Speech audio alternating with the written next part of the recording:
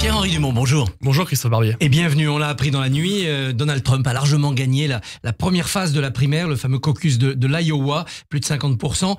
L'investiture semble acquise pour Donald Trump. Ça vous, ça vous rassure? Vous dites que l'Amérique revient vers la droite ou ça vous inquiète cette droite-là? Non, mais les, je pense que la, la politique américaine aujourd'hui est quand même un petit peu caricaturale entre un Donald Trump qui est euh, sous le coup de plusieurs procès, euh, Joe Biden euh, qui est quand même assez âgé et on voit très bien que sa vice-présidente n'adhère et prend très très peu la lumière en réalité. Donc euh, on, on, attend, je pense tous, de savoir quel sera le résultat des élections américaines parce que ça a une grande influence sur le monde.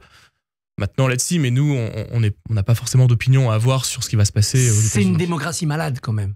Bah, c'est une démocratie malade, mais c'est une gérontocratie en réalité aujourd'hui. On, voit, on le voit très bien. Et maintenant, la, question qui va se poser, c'est est-ce que la France, l'Europe, va réussir à pouvoir parce que malgré, le changement de président successif, il y a toujours des constantes aux États-Unis, lutter contre euh, l'extraterritorialité du dollar, faire en sorte de pouvoir mieux défendre nos entreprises, faire en sorte de pouvoir conquérir des marchés sur un marché qui est quand même relativement fermé aux États-Unis.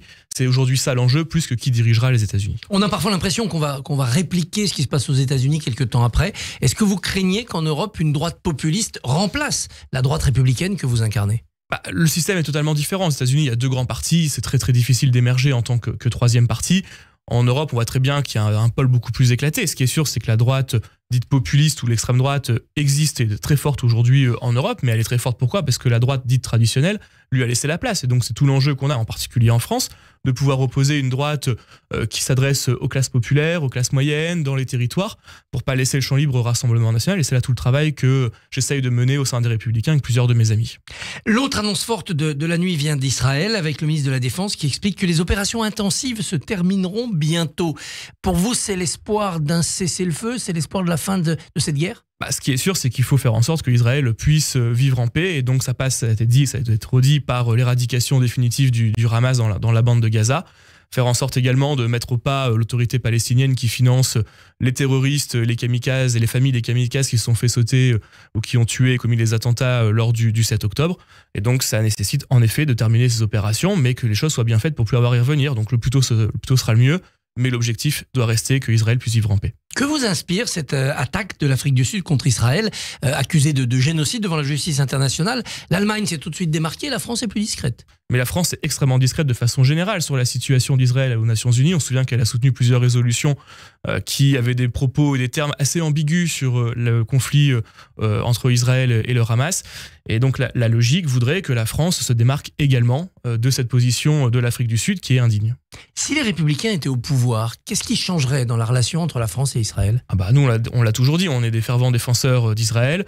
On est plusieurs, le président Eric Ciotti l'a dit, moi je l'ai dit, par exemple, être favorable au déménagement de, de l'ambassade de Tel Aviv à Jérusalem pour montrer qu'en effet, on considère que c'est un État de choisir quelle est sa capitale. L'État d'Israël a décidé que sa capitale était Jérusalem, et donc par exemple, nous devons estimer que notre corps diplomatique, sa représentation doit être à Jérusalem.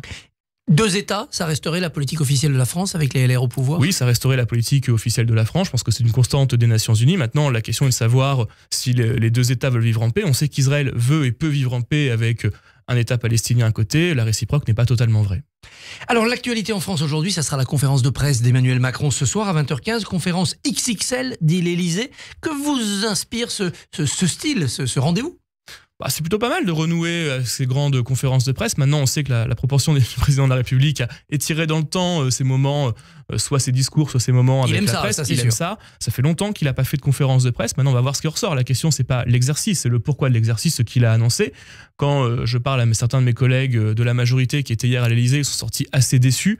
Il n'y a pas eu d'annonce hier. La réalité, c'est que le président de la République a été élu sans aucun programme en 2022, en tout cas quelques réformes qui ont déjà eu lieu, la réforme de l'immigration, la réforme euh, des retraites, et que donc aujourd'hui on se pose la question de euh, quelle sera la suite du quinquennat, parce que les attentes sont nombreuses. Dans mon département, c'était dans la chronique humoristique, on a toujours cette question des inondations, des euh, blocages administratifs qu'il faut pouvoir lever d'ici les prochaines semaines pour pouvoir s'assurer que plus jamais cela n'arrivera, et puis faire en sorte de retourner du pouvoir d'achat aux Françaises et aux Français, faire en sorte de réaffirmer la place de la France en Europe, bref, il y a beaucoup de choses à faire. Alors justement, hier, le président a dit aux parlementaires de sa majorité, rassemblés à l'Élysée, qu'il y aurait moins de textes de loi, parce que c'est vrai que c'est compliqué avec majorité relative, et plus de textes réglementaires pour aller plus vite. Ça va dans votre sens, ah bah non, moi je pense que le Parlement doit débattre et que fait on a Emmanuel Macron qui part d'un constat qu'il n'a pas de majorité absolue à l'Assemblée nationale, ce qui est très juste, mais on peut très bien trouver des textes. On a trouvé des accords sur énormément de textes. Parfois ils font des accords avec euh, la gauche, parfois ils font des accords euh, avec la droite, parfois c'est l'ensemble de l'Assemblée nationale qui est d'accord avec les textes qui sont présentés et c'est tant mieux comme cela, mais c'est aux parlementaires de faire la loi, c'est aux parlementaires de décider de l'avenir des Françaises et des Français aux côtés de l'exécutif, et ce n'est pas à l'exécutif seul en contournant le Parlement avec des règlements. Et faites-vous confiance à Gabriel Attal pour mener ce travail de construction de majorité? Bah, écoutez, moi je pense pas qu'il puisse faire quelque chose, le Premier ministre. Bon, la réalité c'est quoi? C'est qu'on a un Premier ministre aujourd'hui qui est là en tant que grand porte-parole du président de la République, qui n'a pas été choisi pour sa capacité à pouvoir rassembler. D'ailleurs, il n'a même pas cherché à euh, rassembler au-delà de son propre camp. D'ailleurs, il a même commencé par mentir aux républicains, euh, alors que normalement nous sommes censés être ceux qui sont à peu près les plus proches dans l'hémicycle morcelé entre le Rassemblement national et l'extrême gauche de la NUPES. Euh, il a commencé par, par nous mentir en disant qu'il n'allait pas prendre de ministre issu de LR, et la première chose qu'il fait, c'est prendre Rachida Donc on voit bien que ça part sur des très mauvaises bases. en tout cas, nous serons toujours dans une opposition ferme, constructive, déterminée pour faire avancer le pays. Vous êtes ce soir à l'Elysée, vous êtes journaliste, quelles questions posez-vous au président de la République? Que compte-t-il faire concrètement pour améliorer le pouvoir d'achat des Français qui travaillent? C'est ça le, sujet majeur dans votre circonscription dans la France Mais partout, partout. Aujourd'hui, on a des, Françaises et des Français qui travaillent, qui voient plus le bout euh, de la semaine ou du mois, qui parfois euh, n'ont pas de logement, euh, parce que dans des classes moyennes qui travaillent, qui n'arrivent pas à emprunter, qui n'arrivent pas à pouvoir acheter un pavillon ou même trouver un logement locatif social, alors que les deux travaillent, qui sont obligés de dormir soit chez les parents, soit parfois dans les voitures. Il n'y a plus de différence entre ceux, ou très très peu, entre ceux qui travaillent et ceux qui ne travaillent pas. Aujourd'hui, le vrai sujet, c'est ça. Le président lui insiste sur le réarmement civique, sur la fierté qu'il faut avoir de la France. Ça vous semble ça superflu? Non, c'est aussi important, mais ça prouve bien que les défis sont immenses et que la question c'est qu'on ne sait pas à quelle sauce on sera mangé, à quelle sauce les Françaises et les Français vont être mangés dans les prochaines semaines, les prochains mois, les prochaines années. Et j'espère qu'on aura des réponses ce soir. La réalité, je vous le redis, c'est que le président de la République a été élu non pas sur un programme, mais sur une situation euh, militaire et sur une situation géopolitique en 2022, faute de mieux. Et, donc, euh, ça pose beaucoup de questions sur la suite des événements, oui. Est-ce que les premiers pas de Gabriel Attal, qui est venu dans le Pas-de-Calais, notamment pour voir les, sinistrés, ce sont de bons débuts? Bah, En tout cas, il est présent sur le terrain. Maintenant, la question, c'est pas simplement d'être présent sur le terrain pour occuper l'espace et être ce grand porte-parole d'Emmanuel Macron que je décrivais tout à l'heure. La question, c'est euh, qu'est-ce qu'il y aura euh, demain concrètement pour permettre euh, aux inondés euh, chez moi de pouvoir être certains que demain ils seront plus inondés? Quelles sont les dispositions législatives en termes de règlement qui permettront de pouvoir curer les canaux, faire en sorte de pouvoir, en débloquant des fonds, installer des pompes d'évacuation de l'eau à la mer? Voilà, il faut des actes concrets, pas simplement de la présence. En une semaine, c'est compliqué. Maintenant, on va commencer à attendre au tournant d'ici quelques jours, ça c'est sûr.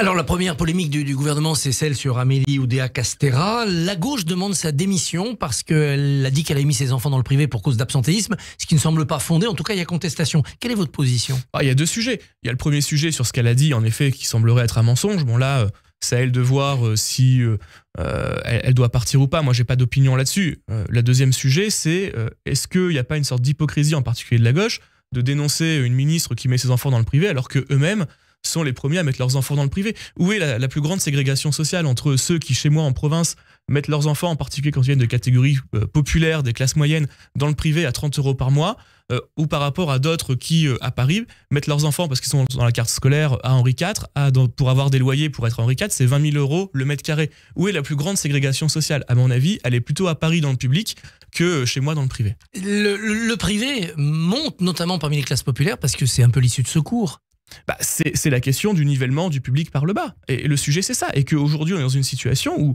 je reprenais par exemple l'exemple d'Henri IV, qui est un des grands lycées euh, parisiens, ils sont euh, aujourd'hui totalement intégrés à la carte scolaire, alors qu'auparavant, ils sélectionnaient sur dossier des lycéens qui pouvaient venir de Paris, voire même de toute la France, qui étaient donc un peu plus basés sur le mérite on a une situation où on est beaucoup moins basé sur le mérite aujourd'hui que sur la situation euh, sociale des parents, ceux qui peuvent s'acheter des appartements ou des maisons dans les beaux quartiers, dans, les belles villes.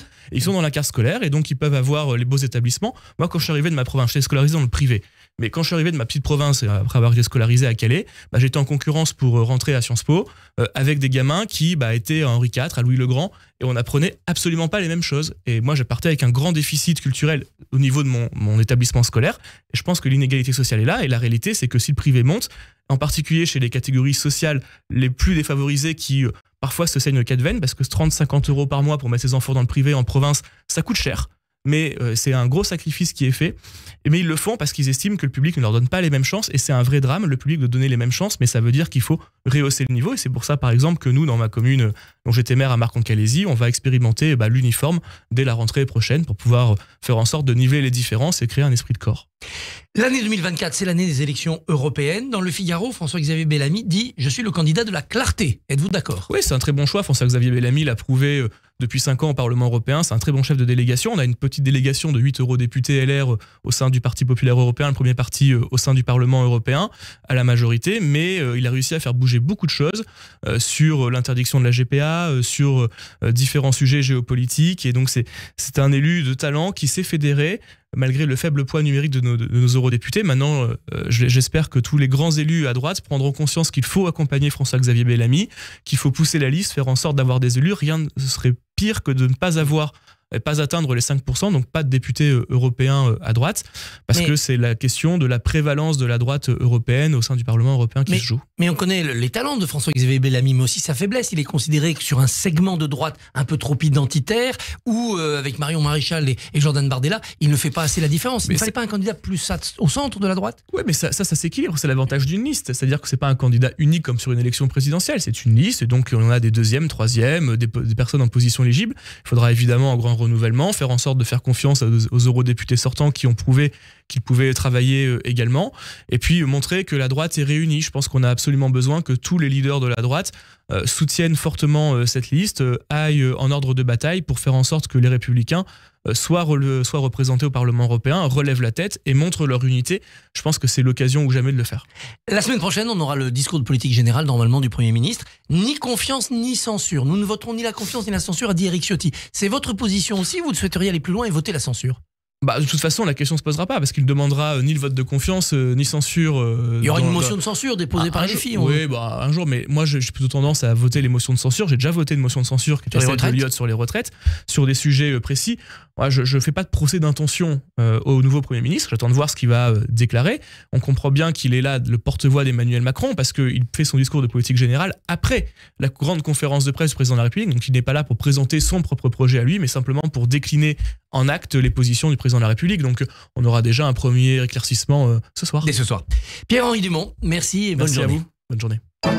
Merci beaucoup Christophe. Christophe Barbier, on vous retrouvera demain à 7h45. Votre invité sera Violette Spilbou, députée Renaissance du Nord. On change juste de département. Retrouvez le Barbier du matin sur le site radioj.fr